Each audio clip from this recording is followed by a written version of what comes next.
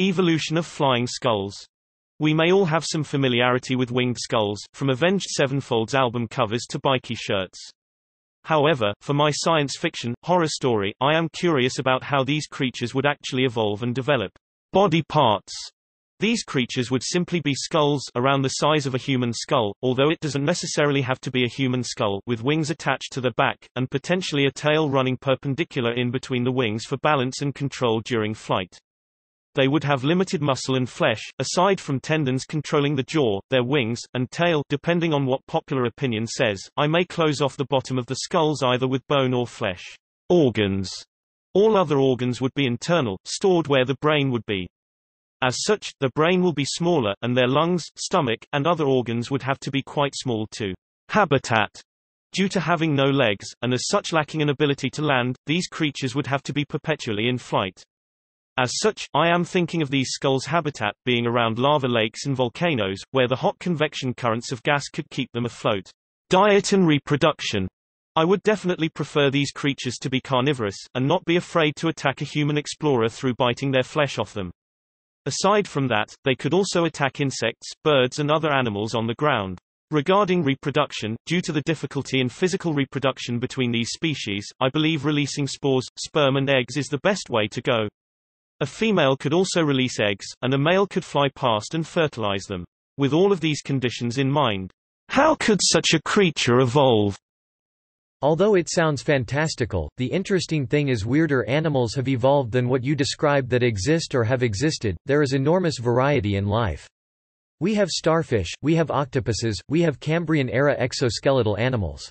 Evolution is the gradual result of many, many layered mutations over a very long time. The important principle is that there is no goal in evolution. Each gradual step is an optimization, random mutation that makes evolutionary sense. At that time. So for your flying skulls you need to consider that at every step of the way, each evolutionary change must make sense and be an advantage at the time or the place it was made. Let's have a look at some possible scenarios to result in your flying skulls. First, you need to start with an animal, the easiest is either a bird or bat. They already have the structure and beginnings of what you require. Bat wings use elongated fingers with stretched skin for flight, whereas birds use the entire arm for feathers. Your final fertilization technique favors birds, as they already lay eggs. There needs to be a scenario where bodies become less important, and the spinal column shrinks.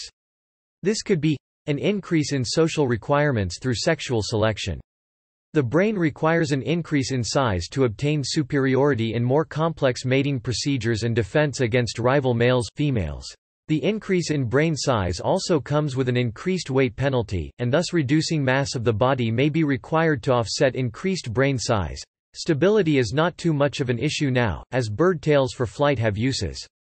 Perhaps the environment changes to trees and short flight scenarios where lengthy flight is not required, this seems to correlate with increased social structure happening in smaller environments. The spinal column, once shrinked needs to then disappear almost completely, and organs move to inside the skull. Again, sexual selection is your friend here. Perhaps there is more protection by incorporating vital organs within your skull, so mates are chosen that appear to have this advantage. Natural selection could also favor stronger exoskeletal structures with organs located within skulls, with those that don't not surviving. Your flying skulls are thus evolved. It is important to note that residual structures would still exist, after all we have all evolved from fish so our embryos would form still like fish, just in later gestational periods the spinal column would be less and less important such that like an appendix it remains there in a redundant form at the back of the skull. For look and appearance these are mainly sexual selection traits. Humanoid skulls with bilateral symmetry and humanoid features could be desirable from sexual attractiveness throughout.